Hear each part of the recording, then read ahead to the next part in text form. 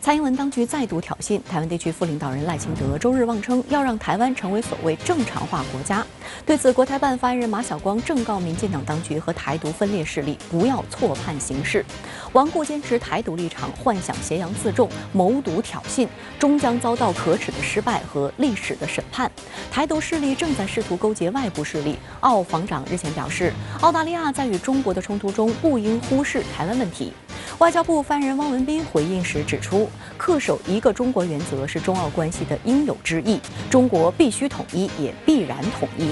澳大利亚是否准备军事介入台海？另一方面，英国即将派遣伊丽莎白女王号航母战斗群到印太海域游弋，也会首次停靠日本港口，并且和自卫队进行联合演练。不过，航母战斗群不会航经台湾海峡，以免触怒中国。田金玲、刘和平、林玉芳深入分析。俄罗斯总统助理周日表示，俄美领导人的会晤可能在六月份举行，会见日期已经确定。近年来，俄美关系持续紧张。拜登上任后，仅与俄罗斯在军控领域实现了有限合作，更是出现互相驱逐外交人员的情况。俄美领导人的会面能否缓和俄美关系？欧洲多国跟随美国驱逐俄方外交人员，一直充当反俄急先锋的捷克为何突然倒戈？欧洲国家对待俄罗斯的态度又存在怎样的温差？苏晓辉、龚晓生、孙兴杰在线解读。香港海关关长邓以海接受深圳卫视驻港记者秦月专访，回应落实香港国安法、打击本土恐怖主义、防止走私等多个热点问题。邓以海强调，作为专业的执法者，要愈强越强，要和不法分子斗智斗力，守好防线。详细的焦点分析稍后为您一一呈现，不要走开。欢迎回来。最近一段时间，澳大利亚政客频繁炒作介入台海问题，其中就包括上任仅一个月的新防长彼得·达顿。达顿在接受采访时就表示，台海冲突不应被忽视，澳大利亚的国防力量已做好准备。对此，中国外交部回应，造成当前两岸关系紧张动荡的根源是民进党当局勾连外部势力，不断谋独挑衅。中国必须统一，也必然统一。继突然终止“一带一路”合作协议之后，澳国内又有杂音称要取消中资企业对澳达尔文港的租约。据澳大利亚广播公司报道，新任澳防长彼得·达顿在接受采访时声称，若台海冲突真的爆发，这一问题不应该被忽视。达顿还表示，人们需要对目前的情况看得更现实一些。台海地区存在着大量的军事活动，在大陆和台湾之间存在着敌意。而对于达顿口中的台海冲突，他妄称，尽管澳大利亚的国防力量已做好高度准备，以应对在该地区针对其盟友的任何威胁，但澳方仍然将努力维持和平。Uh, for, for us, we want to make sure that we continue to be a good neighbour in the region, that we 针对澳防长的有关言论，外交部发言人汪文斌周一在例行记者会上回应称，造成当前两岸关系紧张动荡的根源是民进党当局拒不承认体现一个中国原则的九二共识，勾连外部势力，不断谋独挑衅。中国必须统一，也必然统一。我们愿尽最大努力争取和平统一的前景，但绝不会为任何形式的台独分裂活动留下任何空间。希望澳方。充分认清台湾问题的高度敏感性，恪守一个中国原则，切实谨言慎行，不向台独分裂势力发出任何错误信号，多做有利于台海和平稳定和中澳关系的事。事实上，达顿不是近期唯一就台海问题发声的澳防官员。据德国之声报道，澳大利亚国防军总司令安格斯·坎佩尔在印度瑞辛纳对话期间发表讲话时说：“大陆和台湾之间爆发冲突将会是灾难性的，呼吁两岸领导人通过对话解决分歧。”此外，澳前防长克里斯托夫·派恩在阿德莱德大学法学院演讲时明确提出：“亚洲现在更有可能爆发战争，而台湾最有可能成为下一个爆发点。”有分析就认为，近期澳军方频繁就台海问题发声，但不能就此解读为一旦台海发生冲突，澳大利亚就会断然采取武力干涉立场。事实上，澳大利亚在台海问题上的态度与老大哥美国保持步调一致，即采取战略模糊。对于美澳等国而言，是否介入台海问题以及介入的手段和反应程度，都取决于具体情况、具体原因以及和中国大陆军力的对比。他们可能会配合美方的一些军事行动，但是呢，就回归到盟友义务，回归到盟友这个东西本身。那可能还是要看当时他们签的那个澳新美那个安全条约。所以他们国内也在争论说，在这个条约之下，澳大利亚是不是能够，呃，是不是需要因为这个条约，然后要参与针对台湾的这种军事行动。田金玲还提醒到，针对澳方官员近期就台海问题的持续发声，应该看到美国在背后扮演的角色。本月初，美国驻澳大利亚大使馆代办戈德曼在接受采访时表示，美澳正在展开相应的工作，使两国军队具备联合行动的能力，也包括战略规划方面的合作。他们频繁表态是说给谁听？一方面肯定是说给美国，嗯。因为作为呃近些年来这种反华的急先锋或者美国的马前卒，利亚在联美恶华的这条道路上其实是越走越远了。他可能是在配合，或者说是在迎合的迎合美国的这么一个表态。然后另外一方面，其实也是说给他们国内听。对，在他们政府搞砸了中澳关系的这么一个背景之下，尤其是疫情冲击了整个世界经济，冲击了整个社澳大利亚的经济、社会、民生等等各方面。那在这种情况之下，你搞坏了跟你最大贸易伙伴一个非常重要的合作伙伴的这么一个关系，以及你们的这种外交政策的泛安全化、泛意识形态化，我觉得他们是在找一个依据。除了在采访中谈及台海冲突，达顿还对近期澳方单方面毁约的行为发表评论。上周三，澳外长宣布撕毁维多利亚州与中方签署的一带一路备忘录和框架协议，理由是荒唐的、不符合澳大利亚的外交政策。此次澳方单方面撕毁的协议是维州分别于2018年和2019年与中方达成的，但在去年12月8号，澳大利亚联邦议会通过对外关系法案，该法案赋予了联邦。邦政府取消州和领地政府、地方议会以及公立大学与其他国家签订协议的权利，被认为是对联邦政府宪法权利的极大补充。而这个法案也被解读为直指众多与中国有关的协议，其中与中方签署的一带一路合作协议首当其冲。实际上，维州政府一直对一带一路协议持正面评价，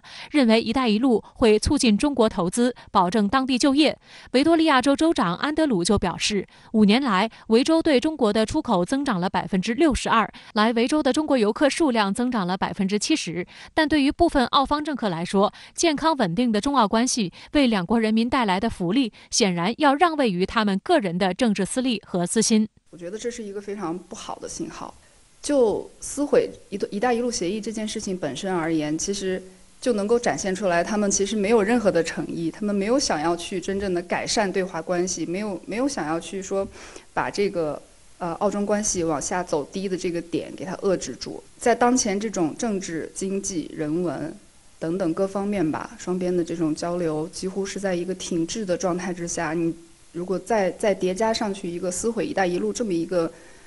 不好的事情，那么我觉得对对未来来看可能。澳中关系的这个拐点，还远远没有到。不仅如此，当主持人问及终止“一带一路”协议后，你们为什么不对2015年签署的达尔文港协议做些什么时，达顿声称，实际上有数千起此类案例需要查看，外交部长正在处理所有案例。如果他们不符合我们的国家利益，那么他显然会采取行动。达尔文港位于澳大利亚北部，是距离亚洲和中国最近的港口，美军在此设有军事基地。2015年，北领地政府以5.06亿澳元的价。格将达尔文港租给中国山东蓝桥集团九十九年，包括达尔文海上供应基地和福特山等码头设施。不过，蓝桥集团作为一家民营企业，它和北领地政府签订的商业合同也有解约条款。时任澳大利亚总理特恩布尔就此交易答辩时就表示，这项交易完全不会影响澳大利亚军队的活动，也不会影响美军舰只在港口的出入。对此，外交部发言人汪文斌表示，中国政府鼓励中国企业按照市场原则和国际规则，在遵守当地法律的基础上开展对外投资合作，也将坚决维护在外投资运营的中国企业的合法权益。这个意义更多的是对于澳大利亚的意义，就在在一五年之前，这个港口的这个是不景气的，从一五年十月之后。慢慢的几年之内，这里发展很快，而且当时这个租赁协议应该是价值五亿多澳元。如果说，呃，我们如果说他们现在把这个撕毁的话，他们也会面临到一个很大的一个毁约的风险。另一方面，英国即将派遣伊丽莎白女王号航母，连同搭载的八架战机，于五月到印太海域巡弋。航母战斗群还包括六艘军舰、配备战斧巡航导弹的潜艇、十四架海军直升机以及皇家海军陆战队成员。英国国防大臣华莱士发声明称，伊丽莎白女王号航母战斗群出航是要表明英国要在塑造国际系统上扮演积极角色，展示英国的影响力和实力。这次任务将持续约半年时间，会到访印度。日本、韩国以及新加坡。据悉，此次战斗群还将首次停靠日本港口，并与自卫队展开联合演练。目前，自卫队已经引进伊丽莎白女王号航母可以搭载的 F 三十五 B 隐形战斗机，并规划两艘出云级直升机护卫舰“出云号”和“加贺号”。而据英国《每日电讯报》称，战斗群在驶经南海时会避开台湾海峡，取到东面海域，以免触怒中国。再把目光转向岛内，周日，台湾地区政府领导人蔡英文及赖清德在所谓海内外台湾国事会议发表挑衅言论，声称要让台湾成为正常化国家。对此，国台办发言人马晓光应询表示，民进党当局操弄和鼓噪谋独议题，大肆散播台独言论，进一步暴露了他们伪善意、真台独的本质，撕下了他们所谓缓和两岸关系的面具。周日，赖清德出席活动时致辞，妄称台湾是所谓主权独立的国家。台湾地区领导人蔡英文虽未出席本次活动，但发表了书面致辞。此外，蔡英文办公室资政姚嘉文演讲称，台湾应改名为所谓台湾共和国，使之所谓名实相符。对此，国台办发言人马晓光周一应询表示，民进党当局和台独分裂势力的丑恶表演，再次证明他们顽固进行谋独挑衅，是台海和平稳定的最大乱源。是威胁台湾同胞利益福祉的毒瘤，只会给台湾同胞带来深重灾难。这充分说明，我们坚决遏制和打击台独分裂活动，就是维护台海和平稳定，维护两岸同胞共同利益。马晓光强调，世界上只有一个中国，台湾是中国的一部分，永远不可能从中国分裂出去。涉及中国主权和领土完整的问题，必须由全中国人民决定。我们正告民进党当局和台独分裂势力，不要错判形。形势顽固坚持台独立场，幻想挟洋自重，谋独挑衅，终将遭到可耻的失败和历史的审判。事实上，就赖清德顽固坚持台独立场，公然发表台独言论，国台办此前已经多次进行过驳斥，并警告称，如果继续以一己之私玩台独之火，是十分危险的。外界注意到，民进党当局上台近五年来，顽固坚持台独分裂立场，极力在岛内操弄反中仇中民粹。近来，民进党当局更是频频勾结美日等外部势力，一再挑衅大陆，使得当前台海局势趋于紧张复杂。就在上周，台驻日代表谢长廷妄称，所谓美日台应尽快实施联合演习。而当天，日本读卖新闻也称，若台海发生冲突，自卫队可依法采取协助性的军事行动。有分析指出，台独分子、台独势力正在努力地绑架或裹挟美日力量参与到台海局势当中去。换言之，台独当局正在引狼入室，企图让美日的所谓战略模糊变成战略清晰。而台当局的一些台独言论以及所谓奋战到底的叫嚣，只不过是整个炒作的一部分罢了。美国到目前为止自己都没有讲明白，美国的官方人士，即使是拜登。即使是 Pompeo Pompeo 这个样的国务卿，都没有讲过说，如果台海发生战争，如果台湾遭受军事攻击，美国一定派军队参战，没有人讲过。不过，从目前看，美日两国在台海问题上依然采取过往的策略，也就是从两岸斗而不破的僵局中两头获利。这一点从日本首相菅义伟的表态就能够看出。四月十六号，菅义伟访美，与美国总统拜登发表联合声明，其中强调了台湾海峡和平稳定的重要性。这是自一九六九年以来，美日两国领导人首次在一份联合声明中提及台湾。但菅义伟一回到国内，口风立即转变，声称根本没有预设军事。参与，美国是一直希望日本在台湾问题上面有更积极的表态，但是日本的这个多数的人民其实是希望日本不要介入。那日本其实也多年来一直在避免在这个台湾问题上面有多所琢磨了，特别在军事的问题上面。那金义伟的回答很清楚啊，就是说。我没有碰触到军事的问题，我没有针对台。海、台湾未来可能发生的军事的问题做表态。周一，台立法机构审议所谓《太空发展法》草案，意在发展台湾自身的太空产业。草案于今年二月正式提出，已于周日在台行政部门获得通过。事实上，台湾第一期太空计划自一九九一年开始以来，并未获得广泛注意，直到该草案的推出。台湾自己未来在推在太空，你要怎么去进行各种的活动，要做一些管制跟规范。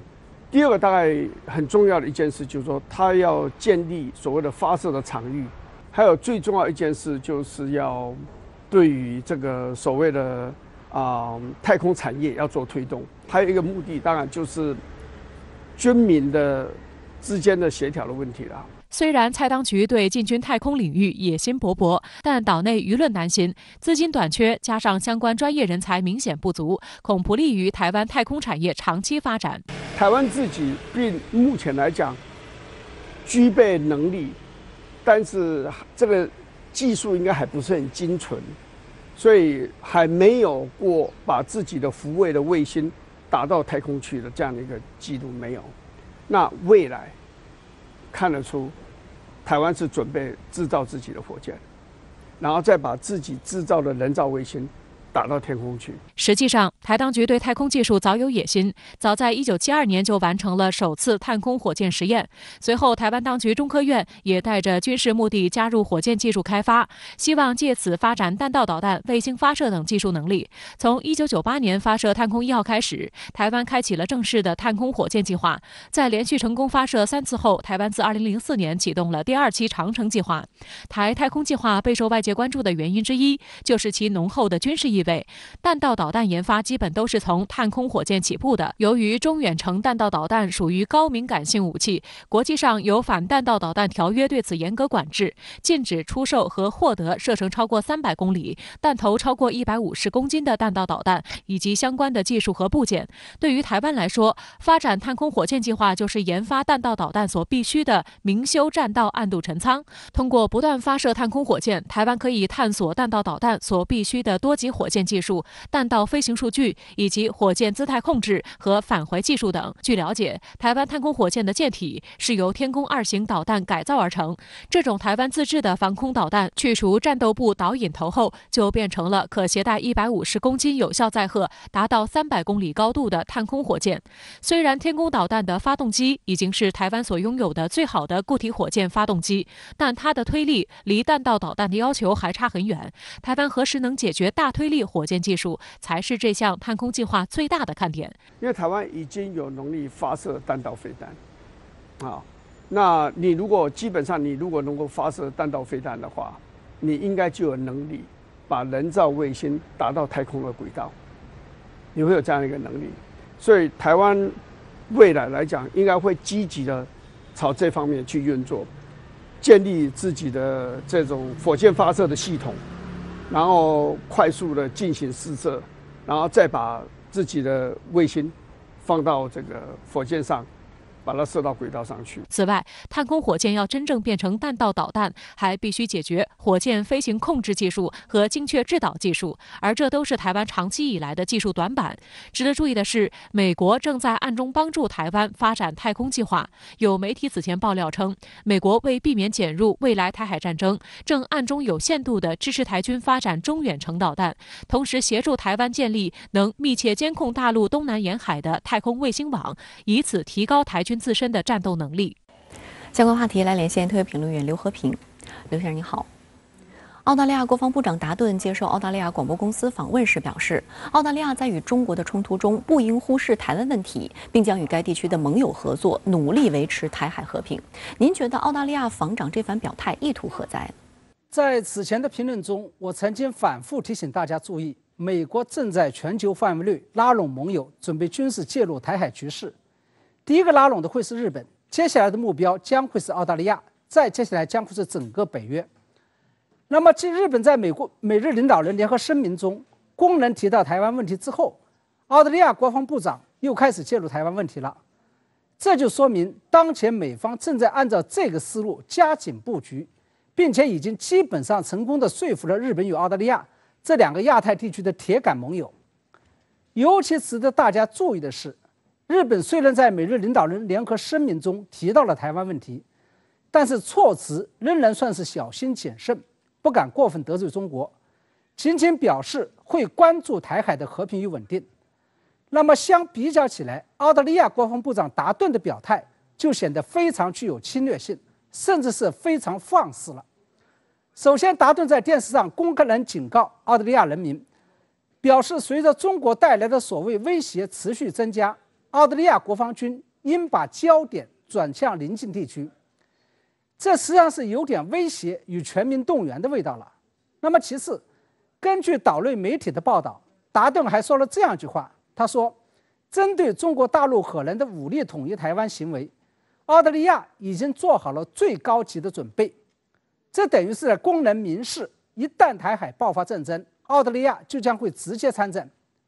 很显然，日本与澳大利亚公人介入台海局势，都是美国在后面鼓动与撑腰打气的结果。因此啊，日本与澳大利亚公人跳上前台，也就间接的证明。”这件事情的幕后操纵者美国已经下定了准备军事介入台海局势的决心，而这种现象也就意味着，在亚太地区，美国、日本与澳大利亚共同以结盟的方式介入台海局势的铁三角已经正式形成。一旦台海战争爆发，日本与澳大利亚将会冲在最前面，美国则会在后方居中调停与调度。同时，由于日本与澳大利亚跟中国大陆和台湾的距离更近，他们在介入台海局势上显然是更具有得天独厚的优势。嗯，随着日本与澳大利亚相继表态介入台海局势，那是不是意味着台海战争就将一触即发了呢？那倒未必。我个人认为，日本与澳大利亚在美国的唆使下相继表态介入台海局势，仅仅只是意味着一旦台海战争爆发，这三个国家将会联手介入。但是这并不意味着台海战争就将一触即发，更不意味着台海战争必然会爆发。相反，我个人仍然相信，虽然美日澳在台湾问题上摆出了准备跟中国大陆打群架的姿势，但他们的真正目的仍然是想通过抱团的方式来威胁中国大陆，阻止中国大陆以武力方式解决台湾问题，或者说，他们正在实施的仍然是一种威慑战略。因为最近剑拔弩张的台海局势，让他们嗅到了台海即将爆发战争的硝烟味。他们以为通过抱团方式介入台海局势，就能够达到阻吓中国大陆开战的目的。也就是说，他们这样做的真正目的，仍然是要防止打，而不是为了打。而在我个人看来，美日澳这样做不仅是在缘木求鱼，是搞错了方向，而且完全是多此一举。事实上，未来引导台海战争的导火索只有两个：台湾当局公然宣布台湾独立，另外一个是境外国家公然插手台湾事务，并且超过了中国所能容忍的极限。而这两件事情的始作俑者都不是中国大陆，而是台湾当局以及美日澳自己。因此啊，美日澳企图以抱团介入台海局势的方式来阻止台海战争，不如管好台湾当局以及管好自己。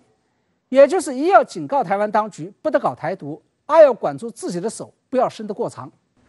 好的，谢谢刘先生跟我们共同在线分享您的观点，谢谢。俄罗斯总统助理尤里乌沙科夫周日表示，俄罗斯总统普京与美国总统拜登的会晤可能在六月份举行，会见日期已经确定。而俄罗斯外交部发言人扎哈罗娃当天在接受俄媒体采访时表示，俄正在制定不友好国家名单，以确定将美国列入该名单。俄美关系将如何影响当前国际形势？来看看报道。据俄罗斯卫星网报道，俄罗斯总统助理乌沙科夫在接受当地媒体采访时，被问到举行美俄总统会晤的时间是否已确定，他说定于六月份，且有了具体的日期，但是拒绝透露具体日期。本月十三号，普京同拜登通电话，双方讨论了俄美关系发展和一些国际热点问题。期间，拜登提议与普京今年夏天在欧洲举行峰会。美媒报道称，白宫当天在一份声明中说，拜登在与普京的通话。话中强调了美国对乌克兰主权和领土完整的坚定承诺，并提出在几个月之后会晤，着手解决美俄面临的所有问题。中国国际问题研究院美国研究所副所长苏晓辉在接受深圳卫视记者采访时表示，美俄首脑会晤之所以定在六月，是美方精心考量的结果。并不是说美国方面不急于与俄罗斯进行沟通，而是呢，对于拜登来说呢，他希望他在进行了这个 G7 峰会以及呢这个北约峰会等相关的议程之后，与欧洲的盟友、与这个北约的盟友更多的进行沟通之后，能够呢能拿出一个更加完善的，或者是说呢能够更多的代表同盟利益的对俄政策。所以呢，不急于与俄罗斯进行会晤，而要在美国准备好的情况下与俄罗斯会晤，要把这样的一次外交的活动呢作为他。执政过程中的一个重要的成绩，而不要像特朗普政府时期的这个赫尔辛基会晤那样，在美国国内引起强烈的反弹。这是拜登考虑到的一系列的重要的因素。值得注意的是，据俄总统网站消息，普京上周五签署了针对外国不友好行为的法令，俄政府将根据该法令制定不友好国家名单，这份名单中就包括美国。该法令规定，如果外国对俄罗斯国家公民或法人有不友好行为，俄罗斯将在必要时限制这些国家的外交使团和领事机构、国家机构代表处与俄个人签订劳务合同、雇佣协议等。俄外交部发言人扎哈罗娃周。日表示，普京签署的这一法令是对其他国家针对俄罗斯采取的不友好和敌意行为的回应措施。美国有一系列不友好的行为，自然会在不友好国家的名单中。同一日，俄罗斯外长拉夫罗夫也在一档电视节目中表示，美国如果继续升级对俄罗斯的制裁，俄将准备新的反击措施。而对于俄罗斯方面来说呢，俄罗斯认为呢，不管在哪个地点，在什么样的时间与美方来进行沟通，俄罗斯对美国呢都没有幻想，都会呢看到美国对俄政策的所谓的两面性。一方面呢，不愿意与俄罗斯正面相撞，陷入到直接的冲突当中；但同时呢，美国对俄的恶意，要拖垮俄罗斯的总体的目标，仍然是俄罗斯非常警惕的一个重要的动向。美俄关系近年来持续紧张，拜登政府上台以来，双方在军控领域实现有。有限合作，但在乌克兰、网络安全、人权、干预选举等问题上分歧明显，对抗加剧。美国政府本月十五号以俄罗斯进行网络袭击、干预美国选举等恶意活动为由，对俄实施大规模制裁，并驱逐十名俄外交人员。俄罗斯外交部二十一号宣布驱逐十名美国驻俄外交人员作为回应。美俄互相驱逐外交人员，引发连锁反应。波兰、保加利亚、捷克以及斯洛伐克等国也相。相继采取驱逐俄罗斯外交人员行动，遭到俄罗斯反制。俄外交部发言人扎哈罗娃指出，这是西方国家为遏制俄罗斯使用的季节性手段。подошли к очередному этапу, или даже это не этап, а очередному виду, который раньше также использовался. Это высылка российских дипломатов, обвинение их во всякой ерунде, не имеющей под собой никакого основания, никаких фактов, тоже проходили. Это у них там на Западе сезонное, как мы поняли. 扎哈罗娃还指出，以上种种行为都有美国在背后撑腰。Кто за этим стоит? мы называем это коллективным Западом. Кто верховодит в этом коллективном Западе? Понятно, кто. Соединенные Штаты Америки. Ничего они этого, в принципе, и не скрывают. Наоборот, гордятся. 美国政治新闻网分析称，美国和欧洲多国连续驱逐俄罗斯外交人员，表明俄与美欧间的争斗进一步加剧。一些欧洲国家采取与美国亦步亦趋的外交行动，意在突出他们在美俄地缘政治博弈中的重要作用。对此，俄罗斯已经忍无可忍。普京在最新的 国情咨文中警告，如果在对俄关系中跨越俄罗斯的红线，把俄方的克制当成软弱，俄方将采取迅速而坚决的回应措施。然而，就在周日。一直充当反俄急先锋的捷克突然倒戈。捷克总统泽曼发表紧急电视讲话，否认有任何证据显示俄罗斯特工参与了2014年捷克军火库爆炸事件。而此前，捷克政府一口咬定俄罗斯是幕后真凶，并以此为由驱逐了多达18名俄在捷外交官。此后，俄罗斯宣布驱逐捷克驻莫斯科大使馆的20名工作人员。上周五，捷克外交部又要求俄罗斯在五月底之前将其。驻捷使馆的人员裁减六十三人，而俄罗斯誓言将作出回应。这场交锋被认为是自一九八九年以来俄捷这两个前冷战盟友之间最严重的外交冲突。捷克此时倒戈，俄媒评论认为，泽曼希望俄捷恢复关系是对西方反俄统一战线。件一记重重的打脸。捷克布拉格广播电台则称，这是泽曼就此问题进行的首次全国讲话。他没有评论将俄罗斯外交官驱逐出境的行为，但他的讲话意味着捷克与俄罗斯之间的外交危机暂时搁置。有意思的是，对于这一消息，多家俄罗斯媒体在第一时间报道了泽曼的重磅讲话，而几乎所有美国媒体都在第一时间选择沉默。从细节来看，捷克呢是一个这个议会制的国家。那么议会制的国家总统呢是最具有这种象征性的。而这个总统泽曼呢此前也多次发表这个所谓的亲俄的一些言论。所以呢，此时呢他发出对俄罗斯应该说所谓有利的一种声音，并不代表呢捷克方面的对俄政策已经出现了重大的变化。当然呢，俄罗斯方面呢会紧紧地抓住泽曼的言论，对这个近一时期俄罗斯与捷克之间外交战升级来抓住更多有利于自己的因素。应对疫情、刺激经济，提出美国基建计划。美国总统拜登上台的头一百天，动作不断。不过，美国人似乎对其工作并不是很买账。最新民调显示，仅有五成美国人对拜登上任以来的工作表现表示满意。拜登民调不佳的背后，蕴含哪些深层次原因？来看看报道。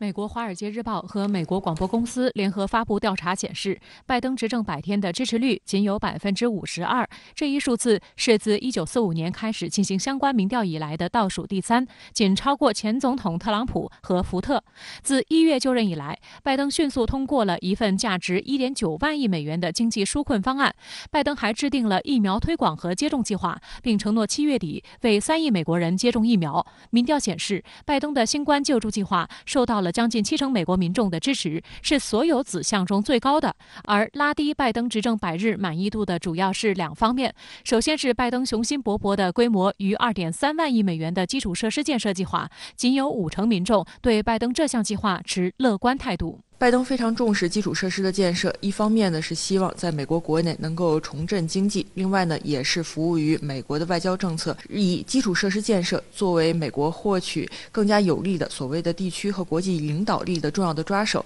但是呢，大家看到呢，拜登呢尽管对于基础设施建设有他的这种政策上的倾向，但是同时呢也遭遇着很多的掣肘。未来呢，基础设施建设能不能成为拜登在内政外交方面实现自己目标的良药，仍然有很多的不确。定性。另一方面，民调显示，超半数美国人不认可拜登政府应对南方边境中美洲移民激增的策略。共和党批评人士称，拜登对特朗普政策的逆转，包括所谓的留在墨西哥政策，正在推动移民人数的增长。同时，民主党批评人士认为，拜登政府没能履行竞选承诺，来帮助无证移民或从边境拘留所释放儿童。And the question is, can he change people's minds? Can he uh, convince the public by the time people are voting next year that he has this situation under control, that he's handling this in a way that people can accept. And if he can't do that, that could be a significant liability for the president's party in the midterm elections next year. 党派之争也是影响拜登总体满意度的一个重要因素。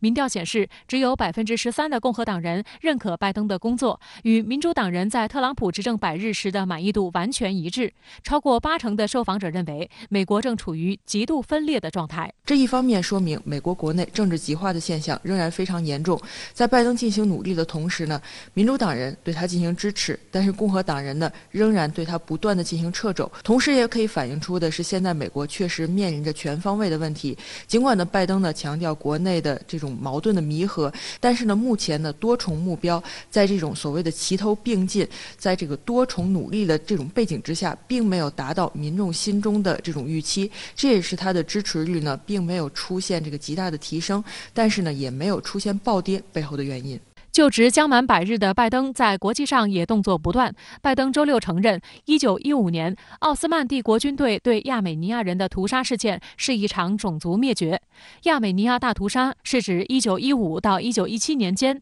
土耳其奥斯曼帝国统治时期大批亚美尼亚人死亡的事件。亚美尼亚认为这是大屠杀事件，遇害人数多达150万人，但土耳其历届政府一直拒绝承认，并称死亡数字被夸大。路透社周六。的报道指出，拜登成为首位在该事件周年纪念讲话中使用“种族灭绝”一词的美国总统。在他之前的历届美国总统一直小心避免使用这这一说法，只用“大灾难”一词来指代这一事件。拜登的声明引发地区有关国家的强烈抗议，阿塞拜疆总统对此进行严厉谴责，认为美国的决定不可接受，是个历史性的错误。土耳其方面的反应则更加强烈，尽管发声明的前一天，拜登已向土耳其总统埃尔多安通报了这一决定，试图控制这个北约盟友的怒火，但显然成效不佳。埃尔多安随后在伊斯坦布尔发声明表示，辩论应该由历史学家进行，而不是被第三方政治化。土耳其外交部的声明直言，拜登的说辞没有历史、国际法和学术支持，对缓和地区局势毫无益处。路透社分析认为，尽管拜登这一声明是象征性的，也没有附加制裁，但它显然会导致美土关系恶化。拜登呢已经考虑到了土耳其方面可能产生的较为强势的反弹，但是呢，拜登呢仍然要推动相关的政策。美国更多的是希望对土耳其施压，能够让土耳其在这个美俄之间表现出更加有利于美国、支持美国的这种政策主张，使美国的整体的政策在推展的过程中，把土耳其呢真正能够作为一个可以依靠的盟友，而不是一个美国还需要应对的伙伴。事实上，拜登上台后，美国在中东做出了一系列调整，包括公布沙特记者卡舒吉遇害一案完整调查报告，宣布继续支持巴勒斯坦两国方案来抢夺道义制高点，空袭叙利亚亲伊朗民兵施压，同时与伊朗就重返核协议开展间接对话，重拾胡萝卜加大棒。与此同时，有报道称，美国将从波斯湾地区撤出部分部队及装备，实现战略收缩。曾担任中国中东问题特使的龚晓生在接受深圳卫视。记者采访时就表示，美国的中东政策调整是为了维护美国在世界上的霸主地位，这将对中东国家产生极大影响和冲击。拜登政府力要力图和特朗普的政策，呃，拉开距离，体现差异。但是呢，他这个拉开距离和体现差异，啊，呃，并不意味着拜登在中东问题上会这个立场会比特朗普软。相反，甚至更强硬的立场，这个呃显示他他并不比这个特朗普弱。美国的这些政策呢，虽然看起来好像站在了道义制高点，但实际上呢，就是说对地区国家事务的干预，呃，特别是内政的干预是非常严严重的。正是由于美国的干预，那么使得地区很多国家出现了动荡和和不稳定。相关话题来连线特约评论员孙兴杰，孙先生您好。俄罗斯总统助理尤里乌沙科夫二十五号表示，俄罗斯总统普京与美国总统拜登的会晤可能在六月份举行，会见日期已经确定。那么，在美俄对抗加剧之际，美俄领导人会晤会带来什么呢？美俄之间也是恶言相向，拜登与普京之间甚至是隔空骂战。美国主导的北约与俄罗斯在俄罗斯边境形成了颇具阵势的军事对抗，大有擦枪走火的态势。而乌克兰总统泽连斯基在多个场合呢，也表达了要加入北约的意愿。可以说，西方针对俄罗斯的冷战的机器已经发动起来。俄罗斯国家安全会议副主席梅德韦杰夫在媒体撰文就表示说：“现在美俄关系的本质就在于回到了冷战。”我个人也认为，冷战在欧洲被激活，美俄关系是其中核心的要素。首先呢，从外交战或者价值观来看，西方与俄罗斯之间的对垒愈演愈烈。二零一四年以来，欧盟以及美国对于俄罗斯的制裁是不断的加码，而现在波罗的海国家、捷克等国。与俄罗斯之间又发生了激烈的外交战，相互驱逐外交人员。拜登上台之后，重启美国的价值观外交，在中东、欧洲都是如此，将价值观作为重铸西方同盟体系的粘合剂。其次就是美国与俄罗斯之间的地缘政治的对抗越来越激烈，集中体现在就是乌克兰危机。最近半个月时间里面，俄罗斯在俄乌边境陈兵十几万。而乌克兰总统呢，就希望加入到北约，以保护本国的安全。乌克兰如果加入到北约，可能就意味着乌克兰将成为俄罗斯反击西方的战场，乌克兰局势将不可避免的叙利亚化，沦为俄罗斯与西方之间代理人战争的战场。我们可以看到，冷战结束之后，美国以及北约的冷战机器不但没有解散，而且是不断的升级改造。俄罗斯已经成为美国的冷战对象，但是在核武器、中东局势等问题上呢，美国又需要与俄罗斯进行有限的合作。但这并不意味着美俄关系会走向缓和，与其说是缓和，不如说是重建冷战期间全球核战略的平衡。这可能是拜登与普京会晤最重要的目标。对于夹在美国与俄罗斯之间的中东国家来说，过于激进的反俄行动可能会招致俄罗斯杀一儆百的惩罚。对于这些国家来说，保持平衡是最优的选择。而美国呢，也不可能冒着与俄罗斯发生正面冲突的危险去保护像乌克兰这样的中东欧国家。拜登执政百日就要到了，民调数据看起来并不是很好。他得到的支持率在二战以后的历任总统排名是倒数第三。您是如何看？拜登的支持率调查也是对他执政以来的一次测试。从数据也能够看到。美国公众以及社会关心的问题，折射出美国面临的各种挑战。拜登上台之后，用了相当的精力来应对疫情，又通过了一点九万亿的纾困方案以恢复经济。在应对疫情这一个问题上，拜登的支持率是最高的，达到了百分之六十五。而在上任百天之际，美国接种新冠疫苗的人数超过了两亿。疫情防控只是拜登面对的挑战之一。从整体来看，他的防控策略要比特朗普更为有效。需要关注的是，拜登在国会推动的一系列法案都没有获得共和党的支持，这反映出美国越来越严重的两党对立并没有因为拜登上台而有所缓解。相反呢？拜登面临的否决政治是越来越严重。现在在参议院，民主、共和两党是旗鼓相当，只能借助副总统关键的一票才能够推进相关的法案。而在众议院呢，民主党的优势也是极其的微弱。在疫情防控之后，拜登要推动大规模的基础设施建设。而与之配套的就是要进行增税，但是呢，只有过半的受访者支持拜登的基础设施建设的计划，这就意味着拜登的基础设施建设的雄心壮志可能在国会搁浅。疫情防控以及疫情的纾困计划是美国社会的共识，但是也没有得到共和党的支持。对于税收改革、枪支控制、移民等问题，不要说两党合作了，就连民主党内部也会有不同的声音。可以说，这大大限制了拜登的施政的雄心。另外一个数据显示啊，美国公众对拜登的认识是另外一个状态，百分之四十的人认为拜登太自由了。这个数据就意味着什么呢？他要比最近两位民主党总统都要高得多。克林顿是百分之二十六，而奥巴马是百分之三十三。到了拜登呢，就到了百分之四十。这意味着拜登会面临着越来越大的保守派的抵制，尤其是已经保守化的最高法院。拜登未来的施政可能会面临着违宪的审查，只有百分之三十七的人对于美墨边境的移民问题表示支持，也就是说，大多数人认为拜登的移民政策是失败的。而美国国土安全部部长在此之前就表示说要修补边境墙。另外呢，美国公众对于拜登的经济管理能力也没有太大的信心，这也是拜登的短板。从整体上来说呢，拜登执政百日开局还算平稳。但是有可能也是一次高开，要持续下去很难，高开高走更是不可能，因为低垂的果子已经摘完了。好的，也谢谢孙先生跟我们共同在线分享您的观点，谢谢。